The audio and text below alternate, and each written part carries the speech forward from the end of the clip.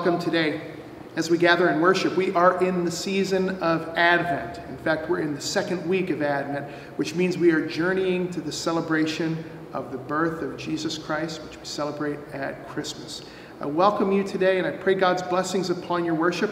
Before we get started, let me share a couple of announcements with you. The first one involves our midweek Advent worship services, which are available online each Wednesday. They feature artist Paul Oman, who uh, does a painting during the uh, service and has done the paintings here at Hope. So please join us for that each week during the season of Advent on Wednesdays. Second announcement involves and includes our upcoming voters meeting, which is December 13th at 1 p.m. This will be a virtual meeting, so it will be online.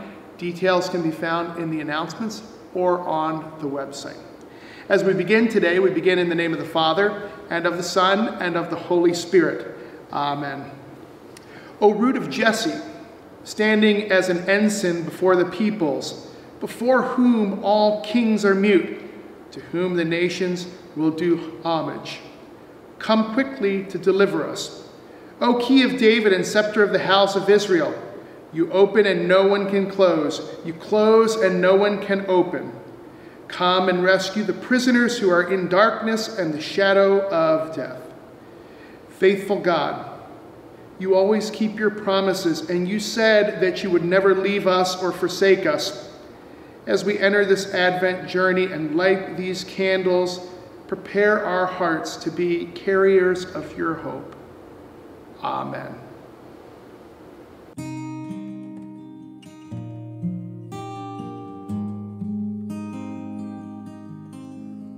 Come, O come, thou Lord of might, who to thy tribes on Sinai's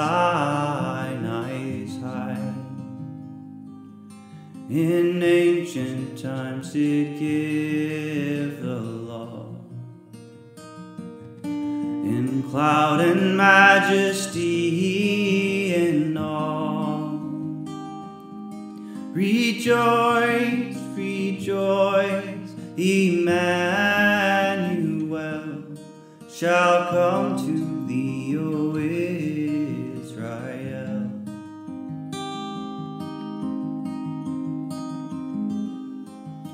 O come, thou branch of Jesse's tree, free them from Satan's tyranny.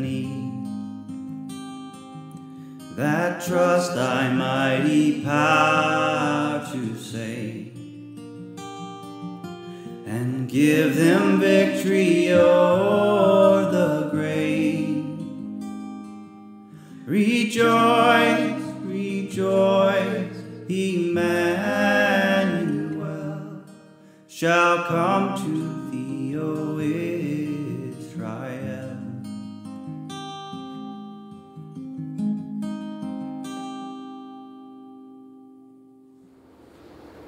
If we say we have no sin, we deceive ourselves, and the truth is not in us. But if we confess our sins, God, who is faithful and just, will forgive our sins and cleanse us from all unrighteousness. Let us then confess our sins to God our Father. Most merciful God, we confess that we are by nature sinful and unclean. We have sinned against you in thought, word, and deed, by what we have done and by what we have left undone. We have not loved you with our whole heart. We have not loved our neighbors as ourselves. We justly deserve your present and eternal punishment. For the sake of your Son, Jesus Christ, have mercy on us. Forgive us, renew us, and lead us, so that we may delight in your will and walk in your ways to the glory of your holy name. Almighty God, in his mercy, has given his Son to die for you, and for his sake forgives you all your sins. As a called and ordained servant of Christ, and by his authority, I therefore forgive you all your sins in the name of the Father, and of the Son, and of the Holy Spirit. Amen. We pray. Stir up our hearts, Lord God, to prepare the way of your only Son. By his coming, strengthen us to serve you with purified lives.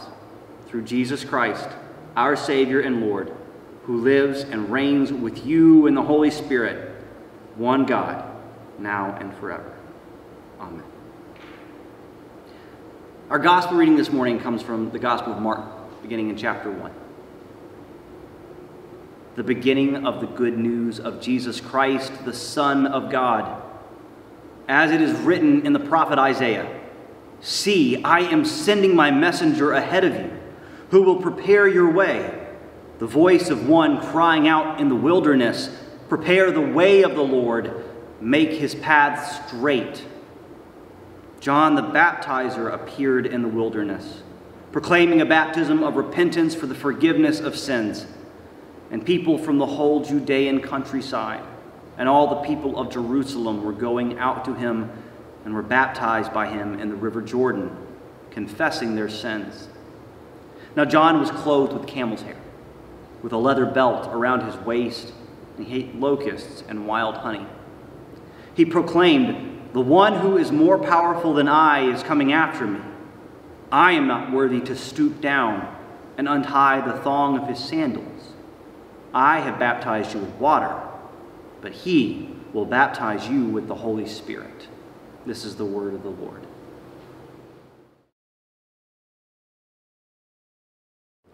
This time we join together as we profess our faith using the words of the Nicene Creed. I believe in one God, the Father Almighty, maker of heaven and earth, and of all things visible and invisible, and in one Lord Jesus Christ, the only begotten Son of God, begotten of his Father before all worlds, God of God, light of light, very God of very God, begotten, not made, being of one substance with the Father, by whom all things were made, who for us men and for our salvation came down from heaven, and was incarnate by the Holy Spirit of the Virgin Mary, and was made man, and was crucified also for us under Pontius Pilate. He suffered and was buried. The third day he rose again according to the Scriptures, and ascended into heaven, and sits at the right hand of the Father and he will come again with glory to judge both the living and the dead, whose kingdom will have no end. I believe in the Holy Spirit, the Lord and giver of life, who proceeds from the Father and the Son, who with the Father and the Son together is worshiped and glorified, who spoke by the prophets. And I believe in one holy Christian and apostolic church. I acknowledge one baptism for the remission of sins, and I look for the resurrection of the dead and the life of the world to come. Amen.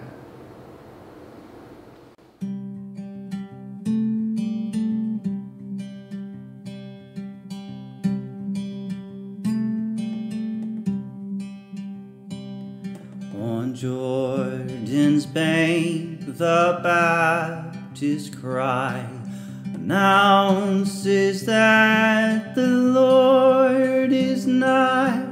Awake and hearken, for he brings glad tidings of the King of Kings.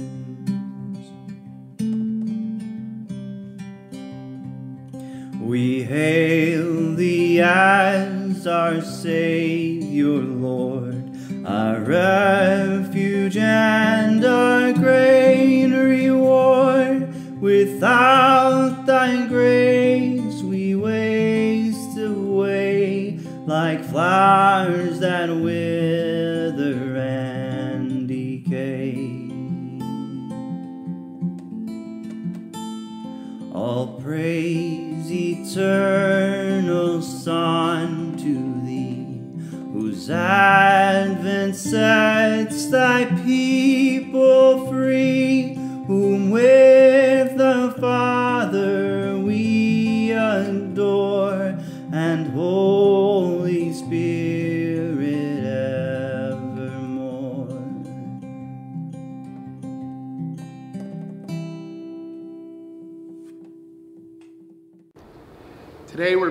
a new sermon series. We're looking at Handel's Messiah and the biblical texts that inspired the music that we hear so often at Christmas. And as we do so, we turn to Isaiah chapter 9, verses 2 through 7. Let me share that with you if I could. Beginning in verse 2. The people who walked in darkness have seen a great light. Those who lived in a land of deep darkness, on them has shined light. You have multiplied the nation, you have increased its joy. They rejoice before you as with joy at the harvest, as people exult when dividing plunder. For the yoke of their burden and the bar across their shoulders, the rod of their oppressor, you have broken as on the day of Midian. For all the boots of the tramping warriors and all the garments rolled in blood shall be burned as fuel for the fire. For a child has been born for us, a son given to us, authority rests upon his shoulders, and he is named Wonderful Counselor, Mighty God, Everlasting Father, Prince of Peace. His authority shall continually grow and there shall be endless peace for the throne of David and his kingdom. He will establish and uphold it with justice and with righteousness from this time onward and forevermore. The zeal of the Lord of hosts will do this. This is the word of the Lord. Let's begin with a prayer. Gracious God,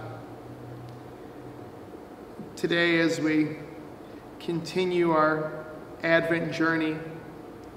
I pray that you would strengthen and keep us through the words of Isaiah chapter 9 and through the meaning of Handel's Messiah and how it reveals our Messiah, Jesus Christ, to us.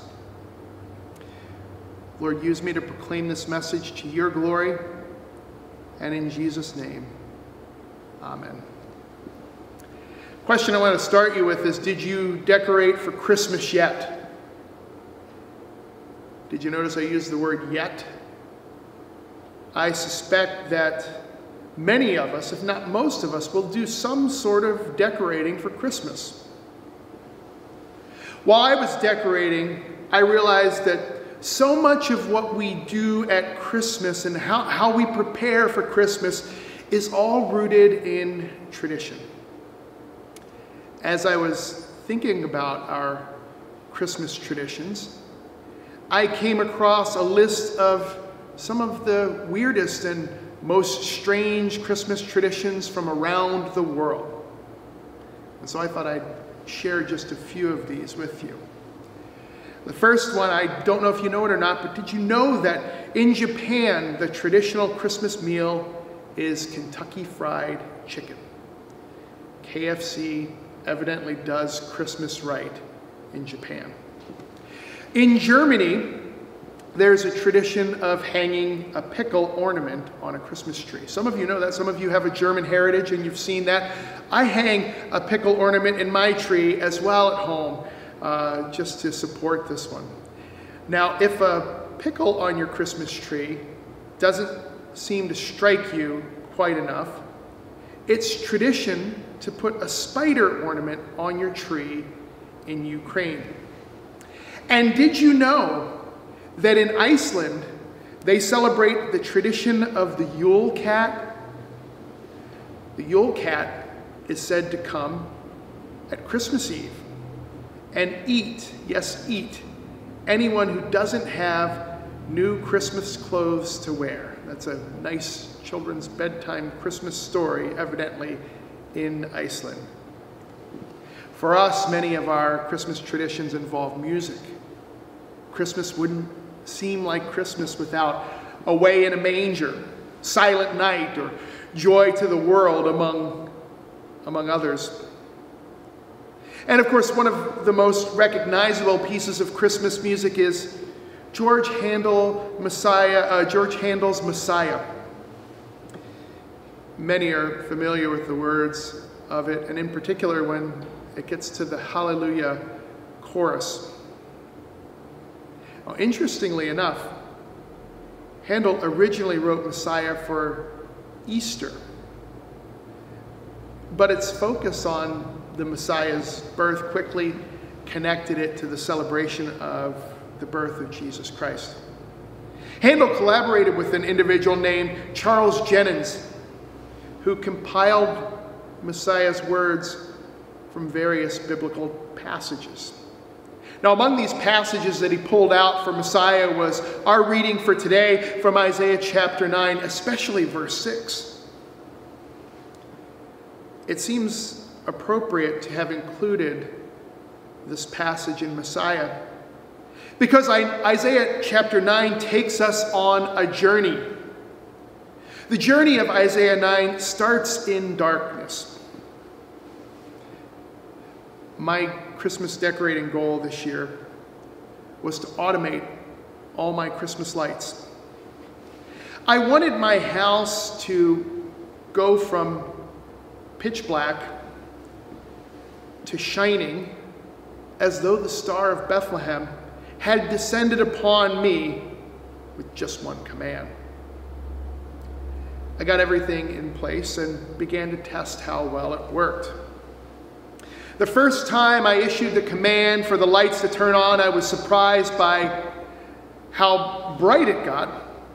But equally, when I issued the command to turn them off, I was shocked by how I was suddenly in a house that was dark. Have you noticed how darkness can sometimes make us feel alone and isolated? Verse 2 has this to say about darkness. It says, The people who walked in darkness. And then it goes on and it says, Those who lived in a land of deep darkness. Now, the question this verse presents us with is Who are the people who walk in darkness? And what about the people who live in a land of deep darkness? Who are they? The short answer is that it's us. Darkness in verse 2 means something like distress or, or like danger, misery, destruction, ignorance, sorrow, wickedness, and even death. Collectively, we're currently experiencing the darkness of a pandemic, of COVID.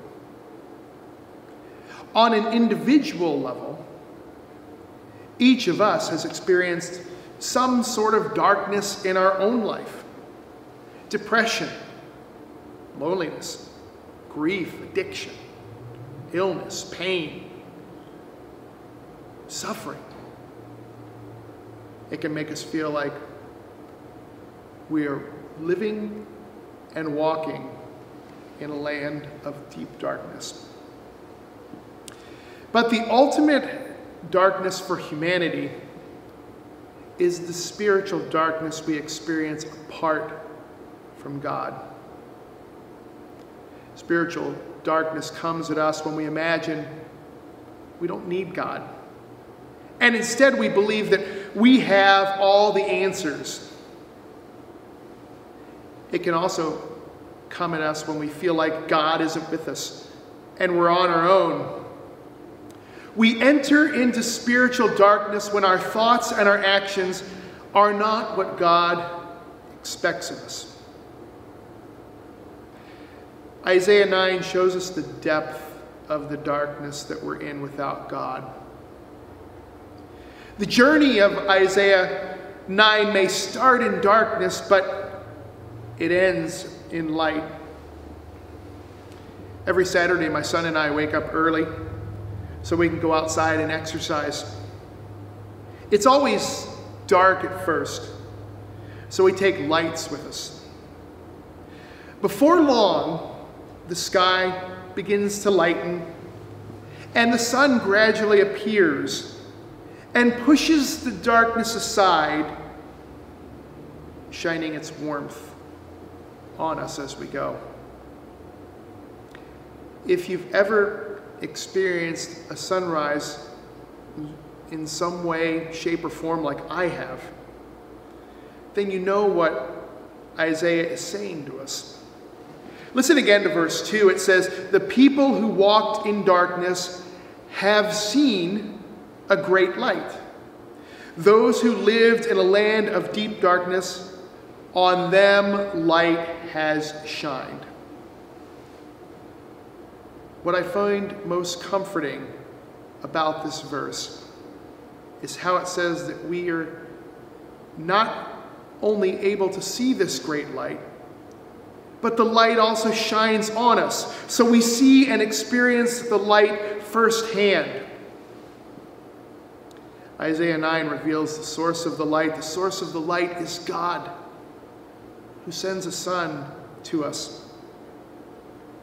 Verse 6 shows us the source of this light. It says, For a child has been born for us, a son given to us, authority rests upon his name and upon his shoulders, and he is named Wonderful Counselor, Mighty God, Everlasting Father, Prince of Peace.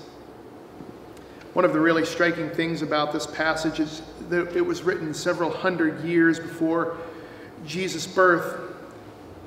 And it amazingly tells how God would act by sending Jesus into the world. And it even gives us names for Jesus as it does so. I don't know if you've ever noticed, but names tend to link us to the past. They identify who we are and to whom we are related. But other than serving as identifiers, we tend not to read too much into the meaning of a name. Biblical names, by contrast, are pretty different, especially those given to God. God's names reveal God's character. They show us what God is like. The names given to God's Son, Jesus, show us this character. He is our wonderful counselor, our mighty God, our everlasting Father, our Prince of Peace. My prayer for you today is that the Lord, who shines the light of Jesus on you, would bless and keep you in the character and person of Jesus Christ, who is your Savior, your Messiah. Let's pray. Almighty God, strengthen us now and always through Jesus the Messiah, the Son, sent from God to call us to life, the one who is our wonderful counselor, our everlasting Father, our mighty God, our Prince of Peace. Lord, we pray this now in Jesus' name. Amen.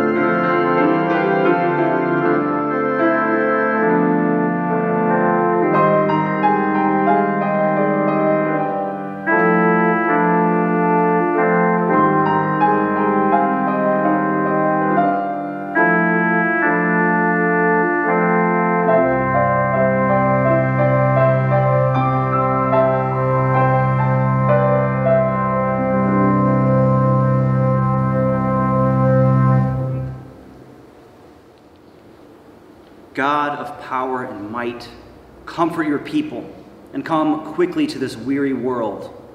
Hear our prayers for everyone in need.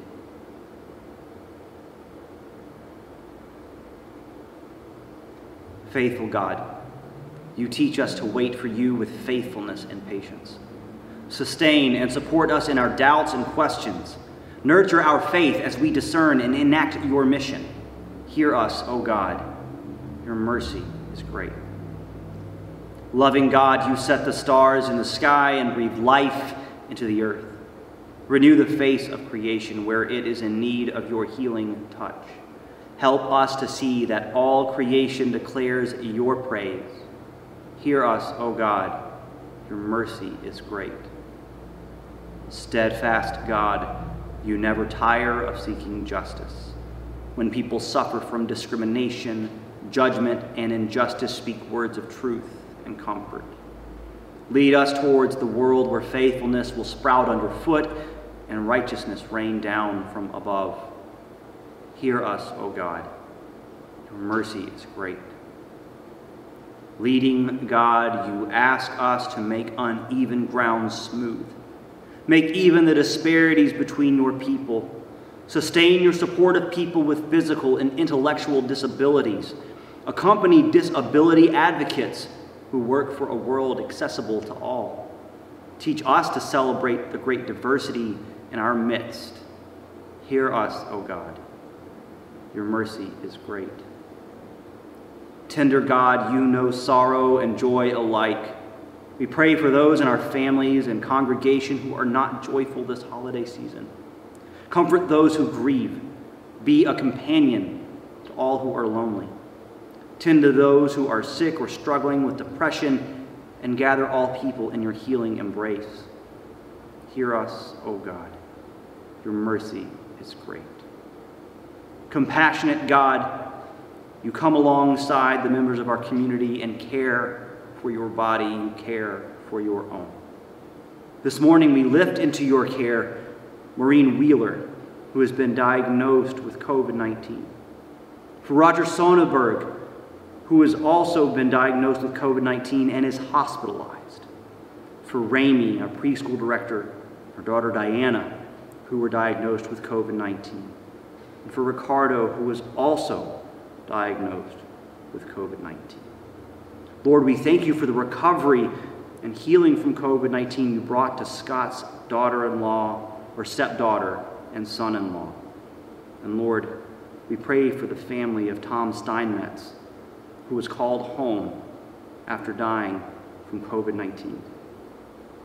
Lord, for Mary Kay, who was in need of healing, for Don Allman for continued healing, Lord, for Nathan as he's treated for seizures, and for peace and comfort for his mom and dad and their family as they support him in this.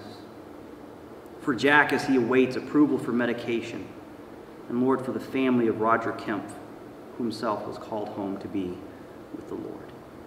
Lord, for all of those that we have named and so many more we know in our hearts, we pray for your continued healing, for your comfort, and Lord, just for your peace. Hear us, O God. Your mercy is great. Eternal God, we give thanks for the saints who have prepared your way in the wilderness and taught us to continue their work. Make their generous lives an example for us. Hear us, O God. Your mercy is great. Draw near to us, O God, and receive our prayers for the sake of your Son, Jesus Christ, our Lord, who taught us to pray. Our Father, who art in heaven, hallowed be thy name. Thy kingdom come, thy will be done on earth as it is in heaven. Give us this day our daily bread, and forgive us our trespasses, as we forgive those who trespass against us and lead us not into temptation, but deliver us from evil. For thine is the kingdom, and the power, and the glory, forever and ever. Amen.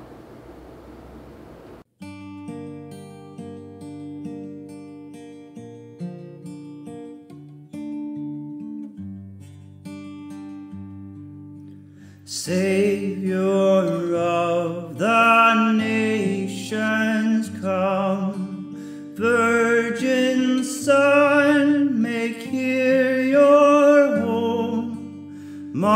favor.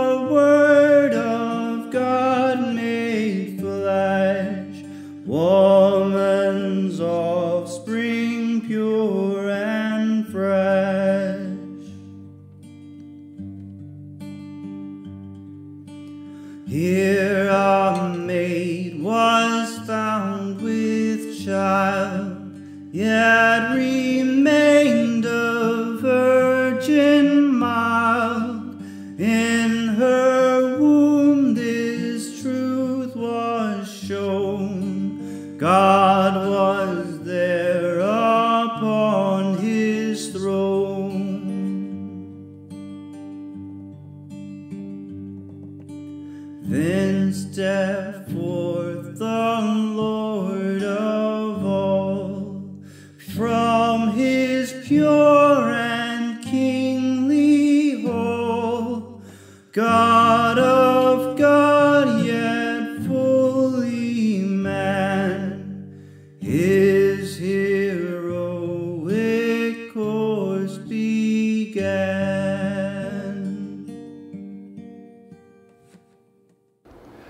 now may the Lord bless you and keep you. May the Lord make his face shine upon you and be gracious to you. The Lord look upon you with favor and give you peace. Amen.